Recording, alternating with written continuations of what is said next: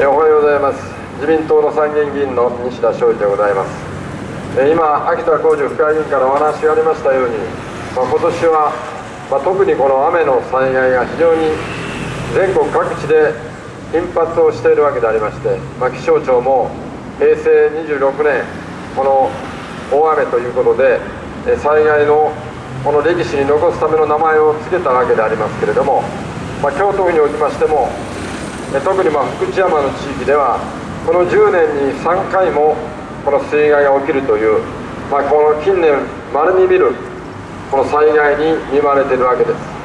まあ、この原因一体何かということでありますけれども異常気象ということもあるんでしょうけれどもやはり一つは日本というのは根本的に災害と向き合っていかなければならない、まあ、そういう宿命にあるんだと思うんです。で皆さん方も飛行機にお乗りになられたことはあると思いますけれども飛行機からこの日本の上空から日本の姿を見ると、まあ、それは美しいばかりの緑の大地に覆われています。でそのしかし緑の大地というのはほとんどが山でなっているわけでありまして山岳地帯がこの面積の7割8割とあるそしてそこには当然あまり人は住んでおられません。そこに峰谷があり沢ができそしてそれが一つの大きな川になって平野に流れてきて平野の部分といいますのは結局これはいわゆる扇状地と言われる部分で、ま、扇状地というのは扇形の形の地域という意味ですけれども要するに山から流れてきたその川が運んできた土石流が積もり積もって平地をこしらえているつまり日本のこの国土というのは多くが山であってその山を崩して海が海に流れてくる間にそれぞれの地域で沢筋に平野ができてくる。扇状地ができてくるということです。でしたがまして今川が流れている地域というのはそこは今単に川が治水によって流れているだけであってもともとはその平野地域全域がいわゆるこの川の氾濫源であった、まあ、こう見てみる方が正しいわけなんです。でそう考えるとこの日本のどの地域におきましてもこういう大きな雨が何年かに一度起きてくるとそういう災害に見舞われる可能性がある。現に今まで日本の歴史の中では地産地水ということを一番重きを置いて行政を行ってきたわけです。でそしてその結果少しでも人間が住みやすくなるように災害が小さくとどめられるようにということをやってきた。そしてその時には災害が起きやすい地域にはなるだけ人が住まないように。でそしてそういう地域は林業とか農業とかのその電波によって遊水地帯でその災害を食い止めていく、まあ、実はこういう知恵がずっと日本の中では行われてきたわけです、まあ、ところがこの近代になってきましてどんどん人口も増えてくる。で限られた面積の中でその人が住むと地域というのは限られているわけでありますから本来今まで遊水地帯であった地域または本当の山の裾で山崩れがあるそういう危険性もある地域も、まあ、人間の力で開発をして住めるようにやっていったと。しかし先ほど冒頭言いましたようにもともとがその地域というのは山が崩れてそして平地になる過程の、まあ、そういう自然の地形をしているわけであります。従いましてここにどんどん人を住まわしていくというのがやっぱりかなり問題であった。とですからそこは一つこれから開発土地を開発する前のこの指定も含めてもう少し慎重にやっていかなければならない。そしてまたもう現に住んでられるところにつきましてはこれからそういう可能性があるんだということで危険地域の、ま指定をしていかなければならないわけであります、ま、現に広島の場合にもそういう指定をしていこうと。いうことで住民の皆さん方にお話をしていたそうでありますけれどもしかしこの指定を住民の側から反対があってできなかったということも新聞の報道で出ておりました、まあ、その原因というのは、まあ、そういう指定をされてしまうとせっかく建てたマイホームの値打ちが下がってしまう。でそうするともしも転売したりする時にですねそのせっかく建ったそのマイホームが売れなくなってしまう、まあ、そういう財産価値が下がってしまうことを恐れて住民の方々がそういうことを反対されたということも伺っていますけれども結果はそのことによってその財産が下がる以前に財産自身が流されてしまい命まで失われてしまうということになってしまったわけでありますからここはやっぱりもう少しシビアに行政は対応していかなければならなかったんではなかろうかと思います、まあ、このように今年のこの雨の被害といいますのはいろいろ我々に教訓として教えてくれるところが多いわけでありますが、まあ、これは京都やそして広島県だけではなくて全国どこでも言えることであります。そう考えてまいりますと先ほどから申し上げてまいりましたように政治の基本基本というのは地産地水ということになるわけです。でこれはそもそも国民の生命財産名誉を守っていくという、まあ、政治の根本課題。そのそのものズバリになるわけでありまして地産地水というのはまさに命と財産を守るために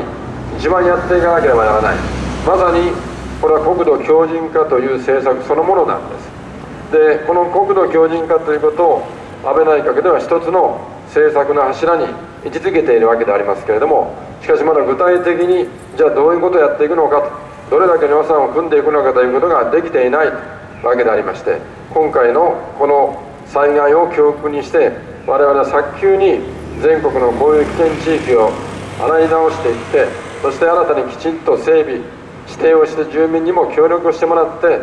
もう二度とこういう災害が起きないように。そしてそのためにはさまざまなインフラの整備ももう一度やり直していくということをしていかなければならないんだろうと思うんです、まあ、そういうことで、まあ、この大きな犠牲が出てしまったわけでありますけれどもその犠牲をしっかりと我々は受け止めてそれを無駄にしないようにしっかりと次の政策で生かしていかなければならないと思うわけであります、まあ、しかしこの地産地水をはじめとしたこういうインフラ整備国土強靭化というのはおはようございます。この我々が安倍内閣まだ自民党が議案している間に随分この自民党の有志の中で勉強会を行ってやってきたわけでありますけれどもこの国土強靭化ということ自身が実は随分長い間おろそかにされてきてしまった、まあ、そういう感がしてならないわけなんです。でもともとはこの地産地水というのは地方自治におきましても国におきましても一番やってきたわけです。でところがこれがどんどんどんどんやっていったわけですけれどもやっていく最中で結局都市部にどんどん人口が集中してくる。そして地産地水をしているつもりがその肝心の軍部の方で山間部の方で人が住まなくなってきている。そうすると一体何のための地産地水なのか。人が住んでいないところに道路やそしてまた堤防をこしらえても意味がないじゃないか。というようなことで結局はそういう公共事業費がどんどん削られてきてしまった。そしてそのことがまた逆に都市部に人口集中に拍車をかける、このことの繰り返しがずっと行われてきたわけです。そして結局はこの20年ぐらいの間はまあもう公共事業というのは無駄の塊のようなもんだからいらない。そういう話になってしまって、まあ、都市部に住んでるんだから地方の方にお金を使うよりも人口の多い都市部にお金を使う方が公平じゃないかと、まあ、こういう議論まで出てきてしまったわけです。しかしこれは冷静に考えるとこれはデタラメな政策を言ってきたわけなんです。つまり都市部に人口集中をどんどん拍車をかけるような政策をすればどうなのかと。これは間違いなくそこには災害の発生率が高くなるわけです。便利な生活ができる一方で治安や災害というものが非常に悪くなってくると。でそうなってきた時に奪われる命ももちろん増えてくるわけなんです。そしてその結果都市部が発展しているように見えても公平を重ねていくだけではなくてそして軍部の方でもそこに人が住まなくなりますと山が保てないそして田んぼが保てなくなるとそこで遊水地帯としてのこの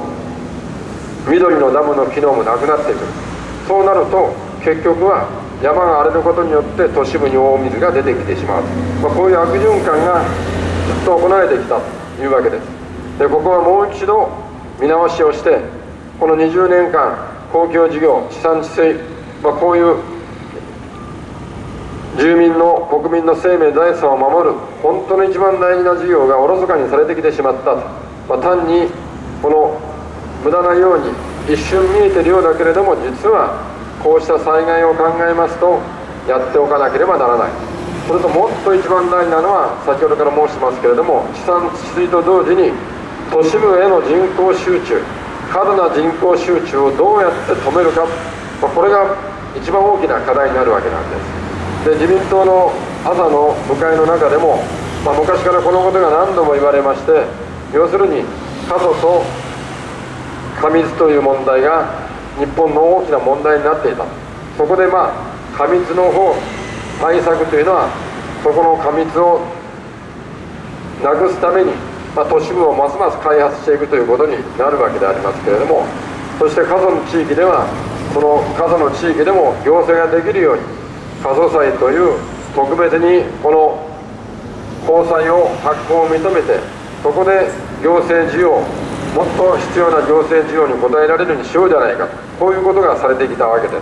す。しかし私はその考え方そのものが本当はちょっと的が外れてるんじゃないかということをずっと申し上げてまいりました。と言いますのは過密の地域をその過密を緩和するためにそれじゃあもう少し都市開発を進めてもう少し広い地域で住めるようにしようとこれ正しいように見えますけれども実は逆さまなんです。過密を止めるためにはこれ以上人口が増えない増やさない仕組みを作らなきゃならないわけです。でそのためには一番手っ取り早いのはいわゆる容積率つまり建物の高さそこに建てられる回数の制限を行う。そうしますと建てたくてももうこれ以上ビルが建たない。そして住宅も建てられない。自動的に頭打ちのその面積あたりに住める人口の数は決まってくるわけなんです。でところが今都市部でやってるのは何か。再開発と生じて容積率が緩和される。例えば皆さん方東京駅に降りられたことあるでしょう。でここでは東京駅が非常に美しい姿によみがえりました。しかしその代わり東京駅に降りたその丸と丸の内側にはかつては30メートルの高さでスカイラインが統一されていて非常に整然としたそういう雰囲気でありました。しかし今どうなってますでしょう。でここは高さ制限がなくなってどんどん高層ビルができています。実は東京駅が建て替えができるようになったのも東京駅の高さ。これは今の東京駅あのレンガ造りの美しい建物に戻りましたけれどもこの高さというのは高層ビルに比べますと随分低いわけなんです。その上にはもうビルは建てません。でそこで建てない分の容積率を周辺のビル所有者に売却しているわけです。でその売却したお金でこの東京駅は一線の負担も JR 側がしないで建て替えることができた。そしてその売却で得たその高さの容積の権利を持って周辺にはより一層高い高層ビルがどんどん建ってくる。でこうなることによって確かに東京駅は再開発をしたわけなんです。しかしその東京駅の再開発で何が起きてるかと言いますとそこには今まで単位面積あたりこのオフィスフロアの数もそして住居の数も限られていたものがその何倍も大きくそこに人が住み働くことができるようになる。まさに過密をますます増長させる結果になったわけなんです。でこういうことが都市部でどんどん行われてくるとどうなるかと。日本の人口1億2000万で今少子化がどんどん続いています。人口が増えない。そういう状況になってるわけです。でそうすると片っぽで東京で人口が増えるということはこのよその地域の人口が減る。それを意味するわけなんです。都市の過密はすなわち軍部のそれ以外の地域の人口減少を意味します。しかも問題は東京に人口を集中させると何が起こるか一つは先ほど言いましたように災害犯罪治安の悪化、まあ、こういうことがどんどん言われておりますけれどもそれだけではなくてそもそも日本の国がどんどんマイナス方向に動いてしまうわけです。それは何かと言いますと人口が東京に集中すれば集中するほど人口は実は全体として減ってくるんです。その理由というのは東京は日本で一番この出生率の低い地域です。つまりここに人口が集中すれば結婚をして子供を作って育っていく。そういう環境が十分整っていない。仕事はたくさんある。遊ぶところもたくさんある。しかし人間らしく生活できる環境に乏しいわけなんです。で経済的には非常に効率的に本北たなこの面積の中でたくさんの人が住んでますから経済効率は非常にいい。でそこで経済効率がいいですから多くの企業がますます東京に投資をしたがります。海外からも東京に来たがる。ところがそこで住むことはやはり人口がどんどん出生率が低いということでありますから減ってくるわけです。東京に人口が生まれてそこで住めば住むほど人口はまたまた減ってくると。そして再生産といえば失礼ですけども要するにもう一度生まれてくる人の数も減ってくる。これまさに日本の国力が東京に人口がすればするほど集中すればするほどその国力が落ち込んでしまうこれが現実ではないのかということなんです。でそこで私はいつも申し上げておりますけれどもこの問題を解決するにはそもそも東京に都市部に人口を集中させてはならないんだと。でそのためには法律の改正が必要だと。今までその地方に与えていた都市計画の権限これ東京都市計画の権限をこれを東京都に与えると東京都のその自分たちの条例でいくらでも高さを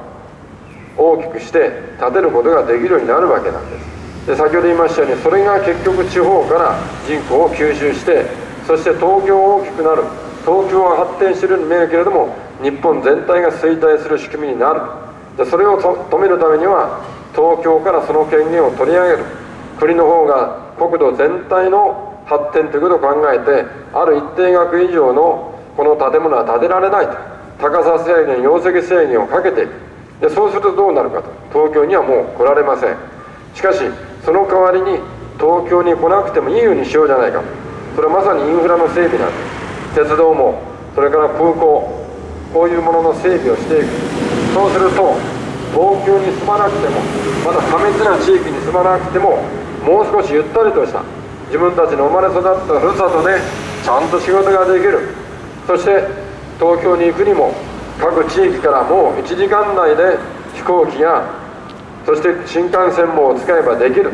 でそういうふうにしてしまえばまさに東京に住む必要がなくなるわけなんですそしてその結果としてそれぞれの地域で家族と一緒に子育てができますから安心して子供を育てられます。そして自分たちのふるさともこれから人口がもう一度戻ってくる。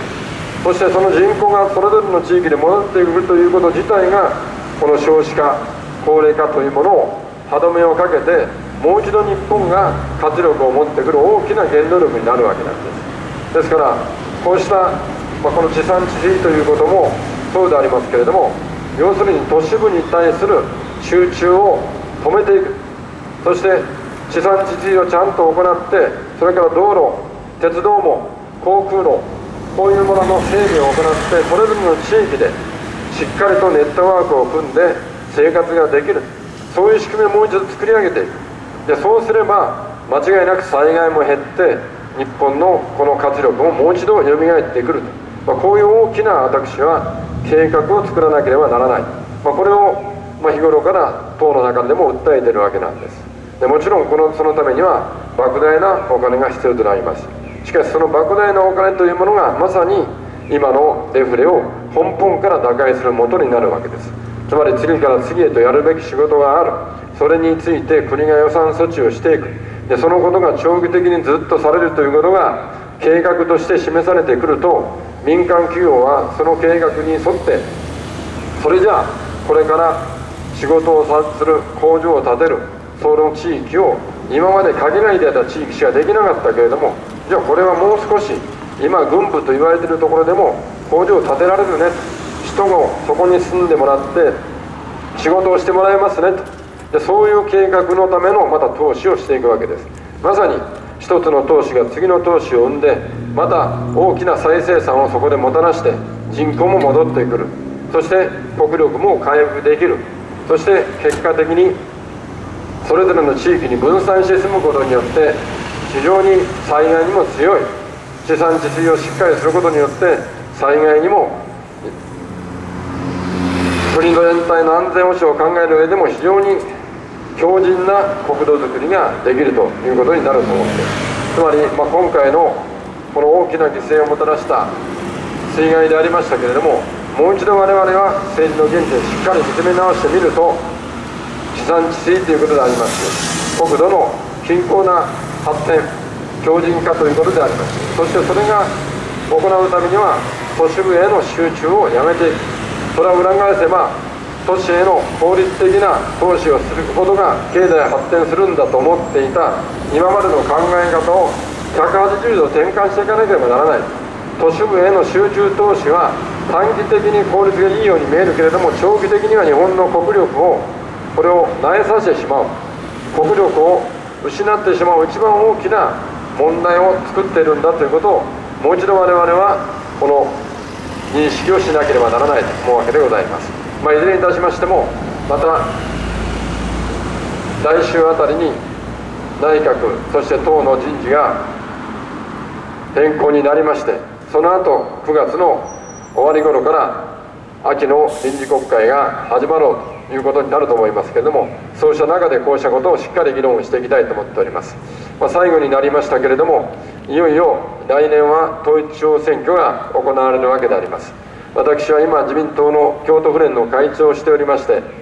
先日は府連の役員会の中で来年の統一地方選挙の自民党の公認の枠を数を決めてきたわけです。でその中でこの南区におきましては都会が1名司会を2名ということで決めました。そして先般南区の党の支部の総会を行いまして府会には秋田浩二府会議員そして司会には向田隆友そして島本教授今日の2名の司会議員を公認として推薦をすることを党本部に挙げていただいたわけであります。でこうした手続きを行って早急に公認候補を決定をいたしたいと私は考えているわけです。そして、まあ、一人でも多くの同志の方が来年の統一地方選挙でしっかりと議席を持ってもらう。国において今しっかりとありがとうございます。政権基盤を固めてまいりましたけれども一番大切なのは地方においてもその同じ我々を支えていただく同志の議員の方々がしっかりと数を増やして地方においてしっかりそこを守っていただく。東京から予算を配分をしたら地方でしっかりそれに応えていただける、まあ、そういう連携したこの議員のネットワークがしっかり築けるということが先ほど言いましたように国土強靭化をはじめとする日本全体がこの強くたくましい国土づくりをできるもとになるわけであります。ぜひとも来年の統一地方選挙南区におきましては秋田浩二副会議員そして向田隆友島本教授2名の司会議員にご理解ご支援賜りますことを心からお願い申し上げまして私参議院議員の西田昌司の該当からの訴えを終わらせていただきます。え続きまして秋田浩二副会議員からこの京都府の状況につきましてもお話をいただきますので今しばらくのご清聴をお願いいたします。